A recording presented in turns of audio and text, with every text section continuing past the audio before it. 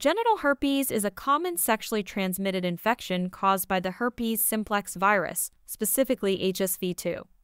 While HSV1 is typically associated with oral herpes or cold sores, it can also cause genital herpes through oral genital contact. Many people infected with HSV may not experience any symptoms or may have very mild symptoms that go unnoticed.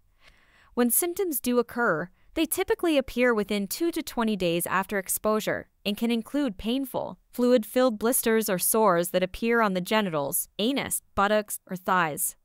The lesions may cause pain, burning, itching, or tingling sensations. Painful or difficult urination may occur if the lesions are near the urethra. Fever, body aches, headache, and swollen lymph nodes may occur before or along with genital symptoms. Several factors can increase the risk of acquiring genital herpes.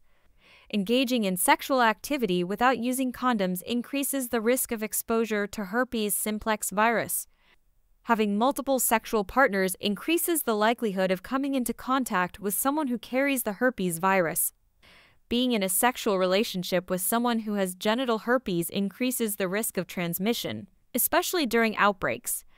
People with weakened immune systems due to conditions such as HIV and AIDS, organ transplantation, or chemotherapy are at higher risk of acquiring genital herpes and experiencing more severe symptoms.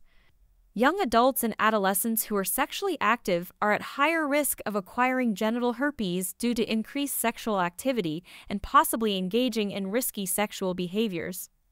Having a history of other STIs, such as chlamydia or gonorrhea, may indicate a higher risk of engaging in behaviors that can also lead to genital herpes transmission.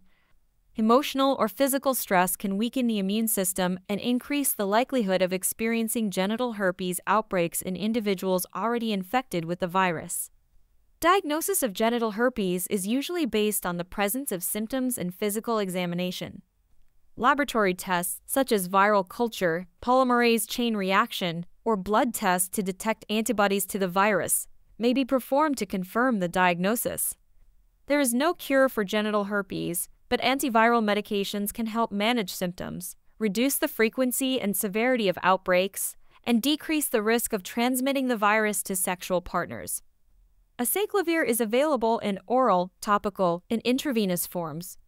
It is typically taken orally several times a day for 5 to 10 days during outbreaks. Valacyclovir is a prodrug of acyclovir, meaning it is converted into acyclovir in the body. It is taken orally and has a more convenient dosing regimen, usually twice daily for 5 to 10 days.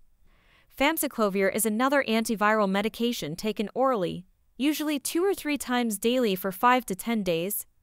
Over the counter pain relievers such as ibuprofen or acetaminophen can help alleviate pain and discomfort associated with genital herpes lesions. Topical treatments such as lidocaine or benzocaine creams may also provide temporary relief from pain and itching. Psychological support and counseling may be beneficial for individuals diagnosed with genital herpes to address emotional concerns, stigma, and relationship issues. Open communication with sexual partners about herpes diagnosis and prevention strategies is essential to reduce the risk of transmission. While genital herpes is not usually life threatening, it can cause significant physical discomfort and emotional distress.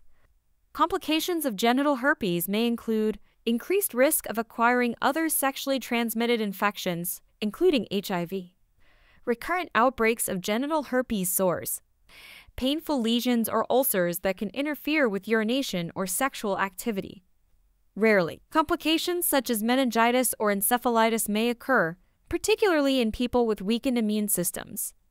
The most effective way to prevent genital herpes is to abstain from sexual activity or to be in a mutually monogamous relationship with an uninfected partner. Consistent and correct use of condoms during sexual activity can reduce the risk of transmission but may not provide complete protection, as the virus can still be spread through skin to skin contact in areas not covered by the condom. Avoiding sexual contact during outbreaks and informing sexual partners of your herpes status can also help prevent transmission.